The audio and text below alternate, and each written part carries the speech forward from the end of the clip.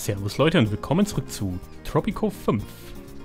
So, wir sind kurz vor der Unabhängigkeit. Ich trinke mal kurz einen Schluck. Moment, hätte ich in der Aufnahmepause auch machen können. Ach, du Eilige. Frische Flasche, Entschuldigung. Prost.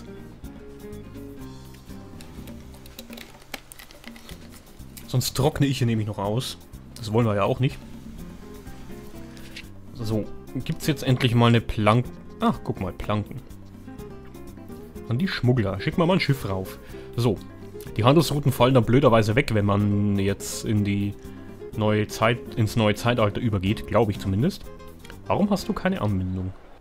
Ach so, weil aus unerfindlichen Gründen hier so ein Stückchen fehlt. Ja, dann baut halt hier durch. Mein Gott, stellt euch nicht so an. Hallo? Du hast eine Straßenanbindung, ich bitte dich.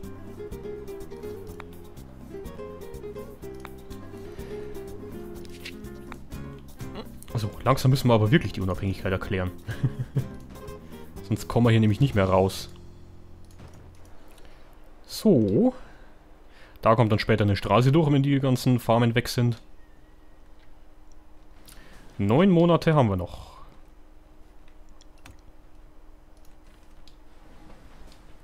Ich glaube, wir machen es jetzt einfach.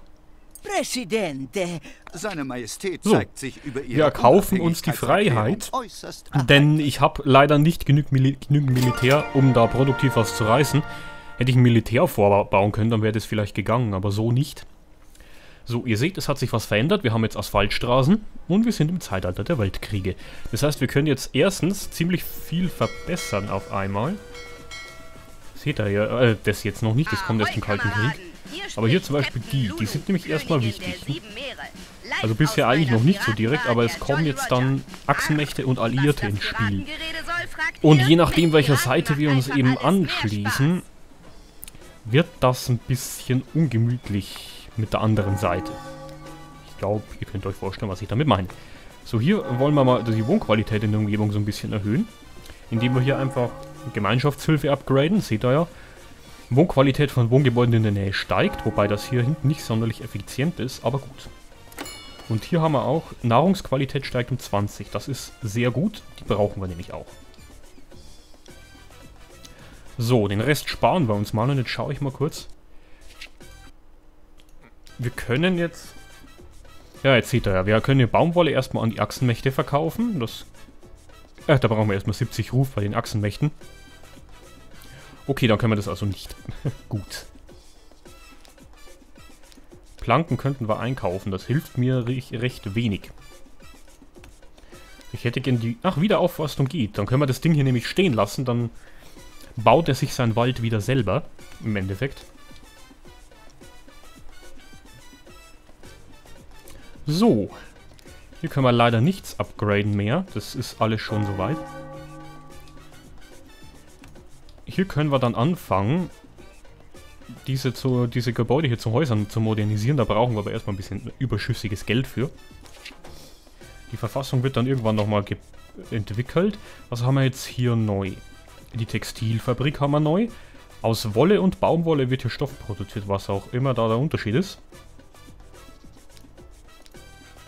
Ach so. Wolle ist die Schafswolle. Jetzt komme ich dahinter. Oh Mann, ich bin auf so einem Pfosten. So, erstmal baue ich jetzt hier hinten ein Restaurant.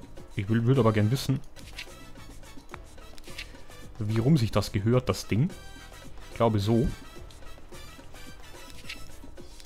Ist auch wieder hier äh, ein bisschen Zufriedenheit. Ach, seriously. So, besser. Das muss ich nur hier kurz mal... Das kommt erstmal weg, weil ich noch nicht weiß... Ja, das Blöde ist, dass dann diese äh, Spuren bleiben. Lass ich das doch da. Auch gut. So. Ach, Quest, hallo. In Russland hat die große kommunistische Revolution begonnen. Unglücklicherweise mit überragendem Erfolg. Nun gibt es keinen mehr, gegen den sie protestieren können. Deshalb versuchen sie, sie zu exportieren und geben Bruderstaaten wie uns dabei einen Rabatt. Bezahlen sie 10.000 äh, Dollar aus der Staatskasse, um die kommunistische Revolution zu importieren. Nein, erstmal nicht. ich weiß halt auch noch nicht, wie ihr entschieden habt. Das ist jetzt die erste Aufnahme noch. Also was heißt, wie ihr entschieden habt, was so die Meinungen bei euch sind, was in welche Richtung dieser Staat gehen soll. Wir können ja auch kommunistisch, kapitalistisch, was auch immer werden. Also da könnt ihr auf jeden Fall mal... Ebbe, dass manche Analysten sagen, für Tropico könne es nicht mehr schlimm. El Presidente versicherte ihnen daraufhin, dass es das sehr wohl könne und auch würde. Diese Radiodurchsagen, die manchmal dazwischen kommen, sind auch immer recht nett. So, Planken können wir immer noch nicht exportieren, Baumwolle auch noch nicht, wegen den Achsenmächten, weil uns die noch nicht so mögen. Okay, werden wir mal schauen. Restaurant wird gebaut, Kohle wird ja auch abgebaut. Kann ich das eigentlich pausieren, das Ding? Ich kann leider die Produktion nicht pausieren, das heißt, wir werden jetzt wohl oder übel ein bisschen Kohle verschwenden, bis wir die Kraft, das Kraftwerk erforscht haben. Ich kann aber anfangen, so ein paar Mietskasernen zu bauen.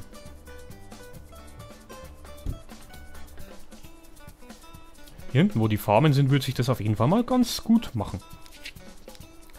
So, wir können jetzt ein Kabarett bauen. Antike Ruinen, die haben wir hier in der Umgebung aber nicht. Es braucht nämlich eine äh, auf der Karte, auf hier auf der Karte so antike Ruinenstädte. Ich weiß jetzt gar nicht, ob wir hier irgendwo eine haben. Weiß nicht, ob man die überhaupt durch den Kriegsnebel hier sieht. Ich glaube nicht, ne? Zumindest sieht es gerade nicht so aus, als würde man die sehen. Da gibt es nämlich auf der Karte dann so eine Art Ressource quasi. Ein Kabarett können wir eigentlich bauen. Passt sogar hier noch hin.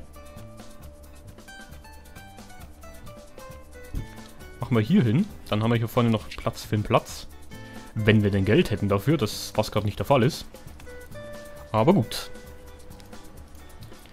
So. Wir müssen dann auch mal anfangen, wenn wir Geld haben, die äh, Häuser zu modernisieren damit uns die Wohnqualität ein bisschen steigt. Sonst haben wir bald Probleme. Jetzt ist nämlich auch äh, Zeitalter der Wahlen im Endeffekt. Das heißt, wir müssen schauen, dass wir die Wahlen gewinnen. Jawohl. Bei 62 unser Gesundheitswesen ist so schlecht, dass wir endlich frei von den schädlichen Einflüssen moderner Medizin sind. Keine Impfung wider Willen mehr, keine Sender in unseren Zahnfüllungen, kein hypokratischer Eid, der den schnuckeligen Ärzten verbietet, mit mir auszugehen. Wen interessiert denn schon das Gesundheitswesen? ich sage die Radiodurchsagen sind echt nett. Ich hoffe, die hört man. Ich höre sie nämlich recht schlecht, weil mein Rechner gerade so laut lüftet. Aber ihr solltet sie eigentlich ganz gut hören können, hoffe ich. Zur Not passe ich das halt an. Muss ich sowieso ein bisschen auspegeln erstmal, wie das alles, äh, ob das, das alles funktioniert hier. So.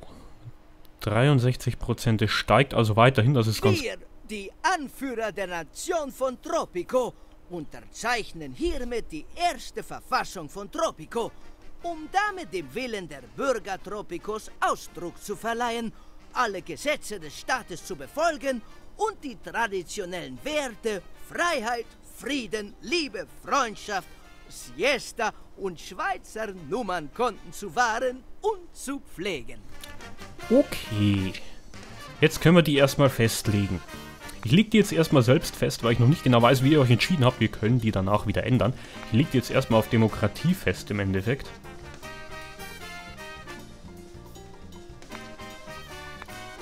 Momentan, wie gesagt. Die Wehrpflicht ist ganz nett, aber dann haben wir zumindest ein bisschen Soldaten. Gut, legen wir die erstmal fest. Was, äh, was erstmal den Strom. Will ich ziemlich bald haben, wie gesagt. Kostet uns zwar ziemlich viel Geld, aber bringt auch einiges an äh, Wohnqualität und wir sind gerade wieder so ein bisschen im Minus, was mich gerade stört. Wir haben auch keinen Handel mehr, das ist nicht ganz so vorteilhaft, sage ich mal. Ich hätte gerne, ja wir können mal Fisch exportieren. Bringt uns leider nicht so viel, aber man kann es ja mal machen. Kohle können wir eigentlich auch noch exportieren. Momentan brauchen wir sie ja noch nicht.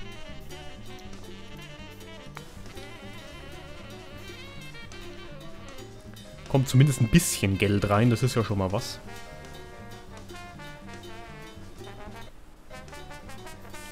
Ah, guck mal, wir kriegen wieder ein bisschen Geld. Das ist doch perfekt.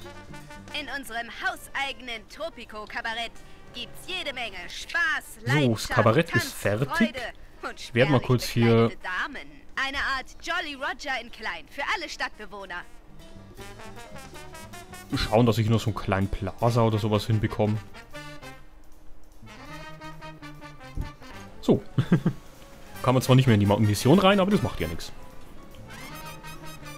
Dafür haben wir hier so einen kleinen Vorplatz. Das ist doch hübsch.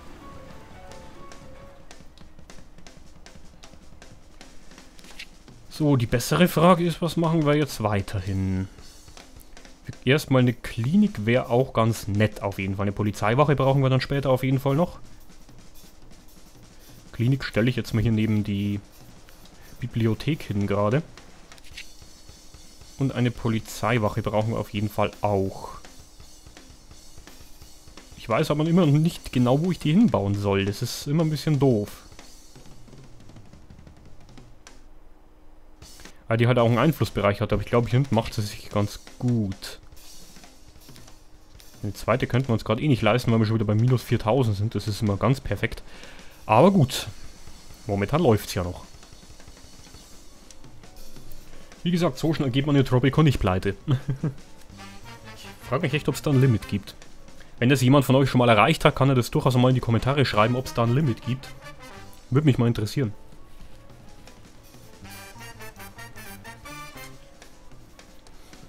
Es gibt auch irgendwie keine Warnung oder so, wann man irgendwie hier pleite geht. Also, ich weiß jetzt nicht, wie das da geregelt wird. Man kann auf jeden Fall nichts mehr bauen, wenn man irgendwo einen bestimmten Prozentsatz im Minus ist, glaube ich.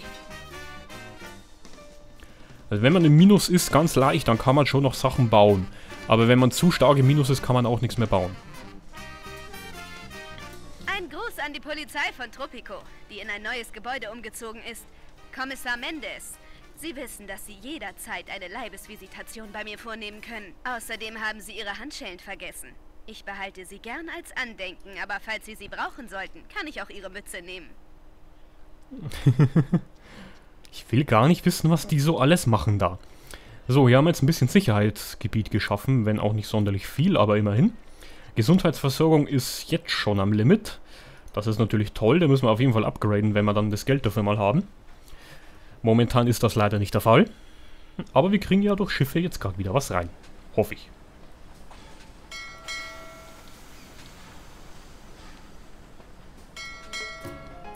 Es ist alles ein bisschen doof.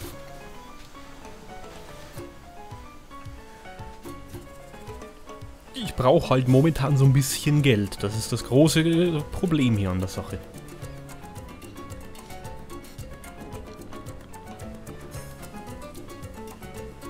80% Zustimmung ist recht gut, auf jeden Fall.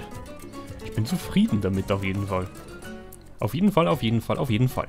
So, und jetzt haben wir, waren wir wieder 10.000. Ich verstehe es nicht ganz, aber gut. Eine Kaserne brauchen wir dann früher oder später auch mal. Muss leider sein, weil sonst können wir uns überhaupt nicht wehren. Was auch nichts in der Sache ist. Erstmal ne, bauen wir jetzt, glaube ich, eine Kirche. Die kommt hier oben hin. Ja doch, die kommt hier oben hin. Weil hier haben wir eh schon zwei katholische Missionen. Da unten dürfte also abgedeckt sein.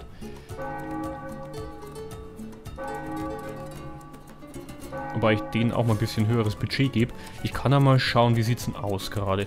Sicherheit sind sie sehr zufrieden, Unterhaltung geht auch klar, Nahrung geht klar, Gesundheitsversorgung ist nicht gut.